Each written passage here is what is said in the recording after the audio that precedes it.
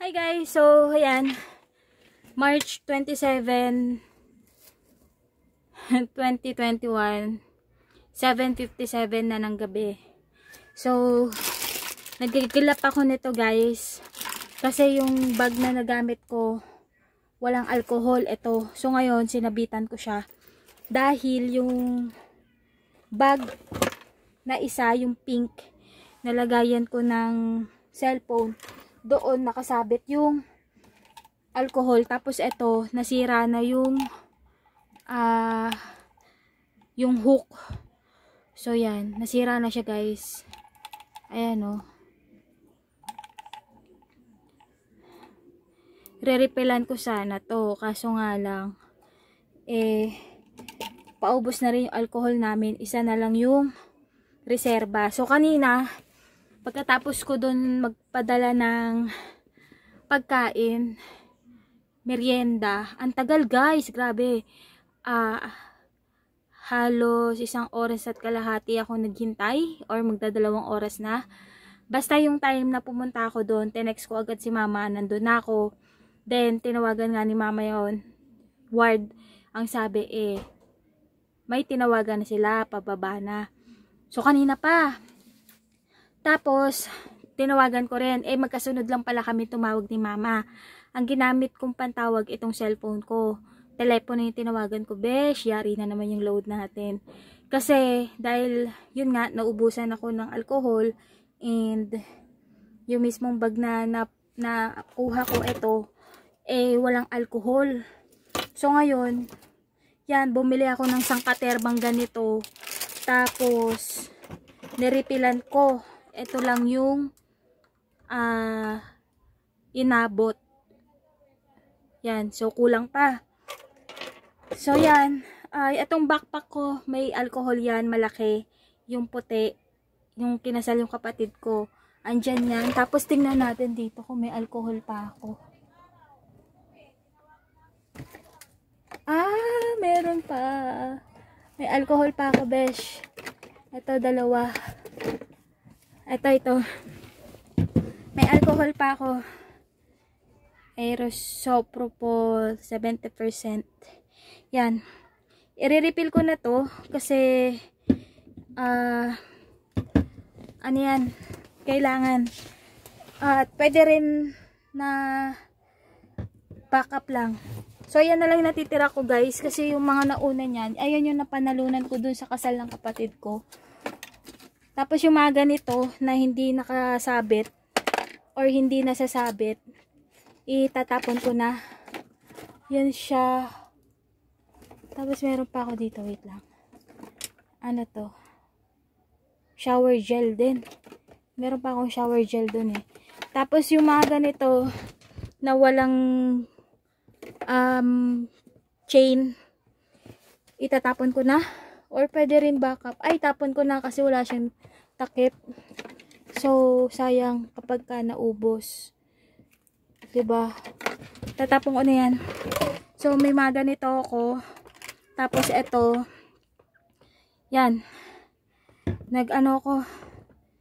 Uh, naghagilap din ako ng alcohol kung saan ang mura. Pero, ang gagawin ko na lang, magpaparipil na lang ako. Dadala ako sarili kong bote. So, para tong mga to, maripilan. Tapos, lahat ng bag na ginagamit ko para pag nagpalit ako, merong nakasabit na alcohol. Yan. Tapos, ito, back up. Doon sa malalaking bag, meron ako nito. Nakasil pa yan, guys. Yung isa nito, nagamit ko na yun, naubos ko na. So, ayan na lang yung backup ko. So, meron si mama dong isang bote na lang na bago. Tapos, ito yung kasal ng kapatid ko. Ayan. So, yun. Uh, yun lang ginawa ko. Kasi, yun nga, balik tayo sa ospital. Sabi nga, eh, may kumukuha na daw ng pagkain. Nandun na daw sa baba. Ngayon, ang ginawa ko, dinerecha ko na yung babae. Kasi, tumawag na pala si mama. Yun din yung sinabi niya. Na, ma'am, may pinababa na ako. Sinabihan na namin, kinukuha na daw yung mga pagkain sa baba. So, ngayon, ako yung naghihintay dun sa baba. Ako yung nakakakita ng sitwasyon hindi pa besh. So, nakikita ko yung pagkain ng daddy ko nandoon. Tapos sabi ko, ano, ah, ma'am, paano may kumukuha na? Eh, nandito pa ako sa baba, hawak ko pa yung pagkain ng daddy ko. Pasuyo naman po. Sabi niya, pasensya na mama kasi hindi lang kasi kayo yung tao na ina-assist, bla bla bla. So, kung hindi pala kami yung tao lang na ina-assist, sana yung concern namin, dinediretso nyo na lang na uh, wala pa yung tao, hindi ko pa makita, wala akong mautusan. Yung ganun kasi yung pinapaasa nyo kami tapos umaasa rin yung tao na kakain, na makakakain na siya. So guys, ang daddy ko, lagi ko nga sinasabi sa inyo, laging delay ang kain. Minsan, um, pinakamaaga lang nun is na timingan namin. Saktong 12 noon, dumating kami ron. 12.03, nakuha na yung pagkain. Kasi, na timingan lang. So, yung 12.03 na yon pag umakyat na yon malabo na yung makababa ulit kung nahuli kami ng dating. So, another 1 hour, 2 hours na naman yung aabutin namin. Hindi kami umaalis sa ospital hanggat hindi nakukuha yung pagkain ng daddy ko kasi, syempre, gusto namin makarating yun sa kanya. Then, kanina na-mention ko sa inyo na yun nga, nahihirapan siyang huminga. Pina-check siya ng ano, ng kapatid ko doon sa doktor niya. Sabi, ma'am, stable naman po yung oxygen niya. Okay na siya and pwede na siya lumabas ng Monday pwedeng mapaaga.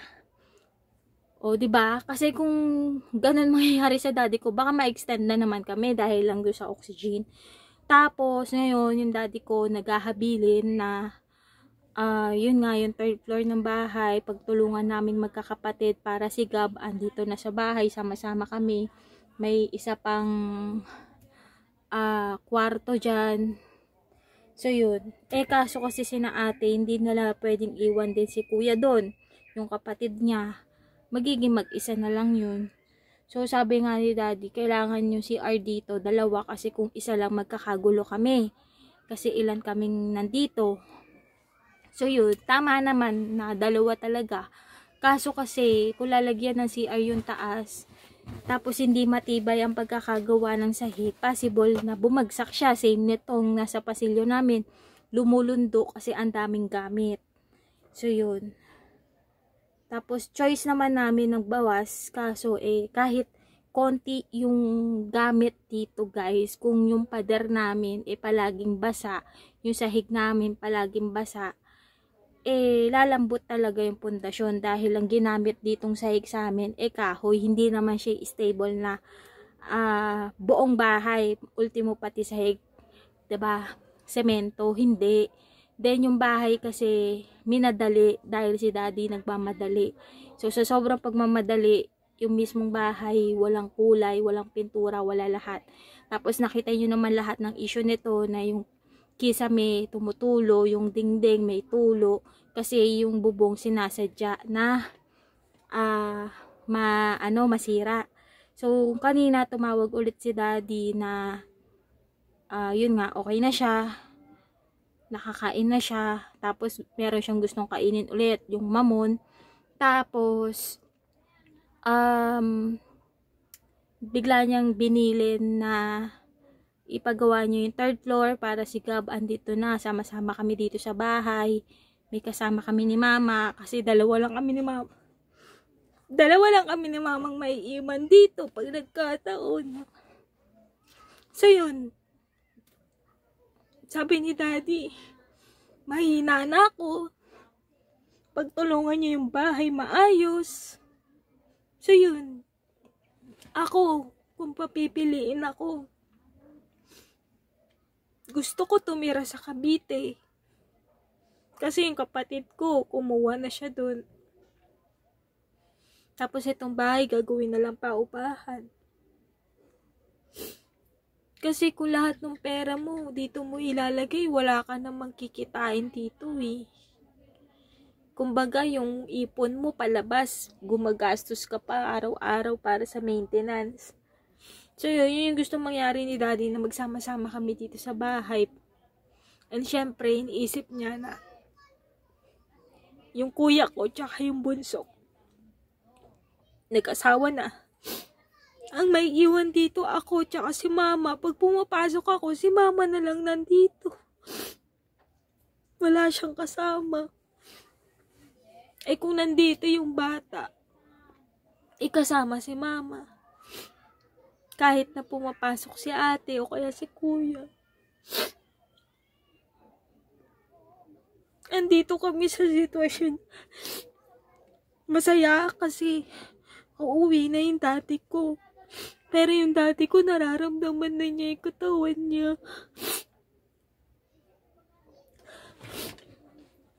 Sana bigyan pa siya ng lakas. Makasama namin para makita niya yung anak ng kapatid ko. Kasi dalawa na apo niya. So yun. Tuwan-tuwa siya doon kay Gab. Unang apo. Kasi malambing. Kaya gusto niya dito yun sa bahay. Kaso kasi si ate may kapatid din siya. Pag iniwan niya yun, yun na lang din mag-isa sa bahay nila, wala na siyang kasama. Tapos kung sakaling baka ma-high blood, walang mag-aasikaso sa kanya, walang titingin. So yun yung problema guys. Tapos yung bata, nasanay na maluwag yung espasyo ng bahay. So, kung dun siya sa third floor, baka naman malaglag siya sa hagdan, ganyan. Kasi si takbo yun, si punta sa kung saan saan kalikot dito, kalikot dun. So, yun.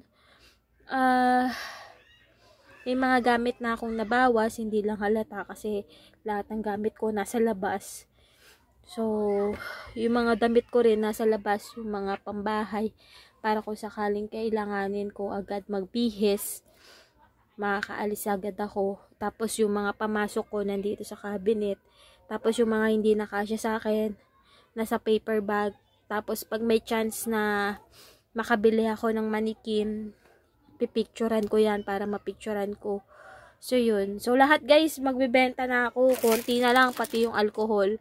Ito guys, empty bottle. Kung gusto nyo, benta ko kayo guys. Benta ko to. So, ang bentahan kasi nito dun sa, ano, sa palengke, 20. O, 20 lahat ng klase. 20 peraso ha. 20 per piece. So, yan siya. Hugis puso. So, yun. Tapos, hindi ko nga alam kung lalagyan ko ng alcohol. Kasi kung lalagyan ko yan ng alcohol, madadagdag yung presyo nun. Pero parang, pagdating sa alcohol, baka malugi ako kasi yung alcohol mahal eh. Siguro ito na lang muna. Yung empty bottle. Per piece, uh, ah, 20 pesos bebenta ko. Kaso nga lang isa walang chain. Hindi ko siya nakita. So, lalagyan ko na lang yun ng uh, tali. Kasi, meron ako dito, ito, yung sa halaman ko, gagawin ko na lang chain para ako na lang gagamit. Meron dito wala eh. Ayan. Oh. Wala siyang chain. So, ako na lang gagamit. Neto. Tapos, dapat pala ang kinuha ko, transparent or pastel. Kasi pagka ganitong dark, hindi mo makikita kung may laman pa ba yung alcohol mo. Pero, makakapa mo naman guys kung may laman na o paubos na. So, yan, hindi masyadong kita. So, yun guys, uh, lahat ng mga pwedeng ibenta, binibenta ko na kasi etong year na to, lalo tong March, uh, lalo tayong uh, pinakita sa akin yung mga possible na pwedeng mangyari. Kaya kailangan pag alam mong nandun ka na sa sitwasyon na yun, kailangan mong maging handa. Kailangan mong dumiskarte. Possible na may mawala pero sana hindi.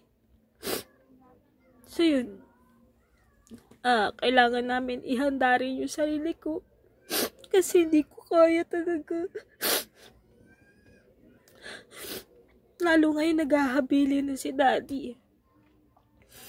So yan. Ah, naging madiskarte tayo na hindi lang ako nag-focus dun sa trabaho ko, sa sahod ko. Nagkaroon ako ng bagoong dishwashing etong damit. Yung damit, hindi ko maasikaso kasi wala akong manikin, wala akong mapicturan, and hindi rin ako makapag-live. So, picturean ko na lang yan. Kasi yung iba, tinatanong ko, ano ba mas prepare nyo?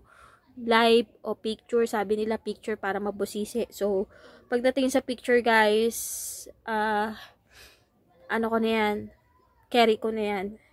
Then, ito, mga empty bottles kung kailangan nyo. Ayan. So, pag uwi ko dito sa bahay, guys, uh, inisprayan na ako. Tapos, na-sprayan na din tong mga to. Sprayan natin ulit ng isa pa para sure. Ayan. Sabi nga ni mama, bakit ko inubos yung kulay pink? Paborito niya pala to. Kasi, ano, mabango daw. So, yun. Ah... Uh, yun lang guys. Uh, salamat sa panonood. So, gabi na. Yung next update ko bukas na. At Sunday, yon bago ko pala i-end. Sunday, pupunta kami kina kuya. 28, March 28. Punta kami kina kuya, kukunin namin yung wheelchair ni daddy. So, pagkakuha ng wheelchair ni daddy, aalis na kami, punta kagad kami QC. Then, pagdating namin ng QC, um, tatawagan ko na agad si kuya para dalin doon yung ayuda. So, kausap namin si uncle kanina, yung kapatid ni mama. Uh, payat na siya. Hindi siya yung katulad dati na ang taba-taba.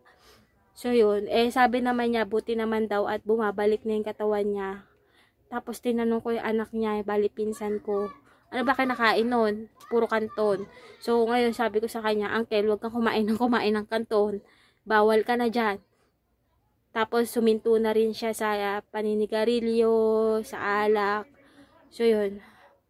Um, ang kaya lang namin, guys, ibigay yung bigas, dilata. Dilata, alam ko, bawal din pag sobra. Uh, yun lang yung kaya namin sa ngayon kasi mismo kami, eh humingi lang din naman din kami ng tulong sa inyo. So ngayon, sobra kami sa delata. Kaya ibinibigay namin doon kina Uncle sobra kami sa bigas. May bigas pa kami dito. Oh, yung sobra, binibigay namin kina uncle kasi sila, wala silang natatanggap na ayuda. So yun, bigay namin doon. Tapos kina kuya din, meron pa. Kasi may, may rasyon si kuya dito. Then yung dalawang nakuha namin na box, bibigay namin doon sa QC. So yun, may bigas na si uncle, okay na. Problema na lang, pag nagsawa siya sa dilata, yun. Pag nakaluwag-luwag tayo, bumalik tayo sa normal, laging okay kami. Tingnan natin kung di ko alam po sino yung mauutusan niya na bumili sa palengke. Kasi si Uncle matanda na rin yun. Kung pwede nga, iwag na rin siyang lumabas. Same ni Daddy, lalo na ayan. Uh, may sakit sila. So, yun. Dala na rin ng pagkatanda nga. Tumatanda na kasi sila lahat. So, yun. Um, yung mga itinulong nyo sa amin, salamat kasi andi dito siya. Yun yung ginagamit namin kay daddy. Yung mga dumarating na bagong tulong. Uh, kung ano yung gustong kainin ni daddy, yun yung binibigay namin para uh, konting kembot na lang, malapit na siya lumabas. Kesa yung lalabas siya ng ospital, gutom na gutom siya. So, kung ano yung gusto niya kainin, pinapakain namin, binibili namin. Then, wheelchair. Nagtabi kami talaga para sa wheelchair. Kasi, yung wheelchair na nakita nyo, or hindi ko alam kung mapopost ko dito, kung hindi, sa Facebook. Uh, nag-request lang kami sa barangay kung pwede kaming manghiram para maibalik namin si daddy dito sa bahay. Para hindi na siya maglalakad kasi mabilis siya mapagod talaga as in. Kasi matanda na siya. Then, yon nanghiram muna kami. Tapos, nag-request din kami ng donation para sa wheelchair. And kung walang magbibigay sa amin, okay lang kasi andi dito pa naman yung pera pang wheelchair talaga. Yung kukunin namin eh yung matibay. Para kung sakaling wala ng pandemic, pwede naming ilabas si daddy. ba diba? Naka-wheelchair siya. So yun, uh, may kausap si mama kasi maraming nangangamusta sa amin kung kamusta na, kamusta kami. So yun, so ako ito yung way ko. Dito ako sa vlog nagsasabi sa inyo na kung okay pa ba kami, ano na nangyari. So yun, and yun guys, salamat sa panonood. Yun yung agenda namin bukas. Marami kaming gagawin hiwa-hiwalay, Santa Mesa, QC, then balik dito sa Manila. And by year 2022 or 2023, uh, siguro yung mga year na yun, um, mga videos na sa Cavite yung makikita nyo sa amin. Basta maging okay lang si daddy. Yun. Uh, more on sa Cavite na yung makikita nyo sa akin. Ngayon, nandito kami Manila. Kasi yun nga, andito yung daddy ko sa PGH. So, kailangan namin yung mas malapit doon sa ospital. Kasi kung katulad ng BGC from Manila, ang hirap. Ang hirap guys. Tapos bawal din mag-commute. So, buti meron kami sariling sasakyan. So, yun. Yun lang yung tracing namin. At bago kami pumasok ng kotse, ni-sprayan namin yung mga hawakan. Then, paglabas namin, ganun din, spray ulit kami sa sarili namin, pati sa loob, spray din. Spray sa loob, spray sa labas. As in guys, triple na. Hindi katulad dati kung doble ingat kami ngayon, triple na. Kasi, ayun eh, na-hospital si daddy. Ayaw namin maulit yon kasi, hospital eh, halo-halo yung nandoon. Positive, yung mga nag-negative, ba diba? So, yun. Uh, ito ulit yung susuotin ko. Yung sinuot ko kanina. Maliligo ako. So, kapag dumarating ako dito, nag spray ako. Magkalayo kami ni mamang kumakain. Tapos, maliligo. Yan. Nakaabang yung alcohol dun sa, ano, sa may pinto. Then, yung mga pinuntahan ko, yung sa Divisoria, doon ako umikot sa walang masyadong tao kasi guys, kabisado ko ang Divisoria at pagka nakita ko dito sa iskinitang to, meron akong gustong bilhin pero maraming tao, umiikot ako sa iba kung saan pwede akong makakita nung bibilin ko. So yun. At yun guys, ang binili ko lang ayan, uh, empty bottle lang talaga as in para do sa mga bag namin. And yun, lahat ng mga ginagamit kong bag, yung backpack, ito, tsaka isang Christian Dior na yan. Yan, yung coach, ito guys, maganda to kasi malaki. Compare dun sa isa kasi maliit lang yun. So, yun. Pero pati yung lalagyan ko siya. So, yun. Para sure guys, nakaka-lurks eh. And yun, so, salamat sa inyo guys. Salamat sa mga tumulong sa amin. Maraming salamat dun sa mga kaibigan ni Daddy yung mga katrabaho niya dati and yung mga tinulungan niya na hindi nga namin alam na magbibigay eh. Pero yung mga uh, nanghiram sa kanya na malalaking halaga, ayun, hindi na namin nakita. So, pinabayaan na, wag na namin hanapin. Kasi syempre, matik yun. Kung hihingi kami ng tulong, kailangan din namin maningil doon sa mga pinautang ni daddy yun yung talagang inuna namin kasi alam namin na pera ni daddy yun. Kaso nga lang wala.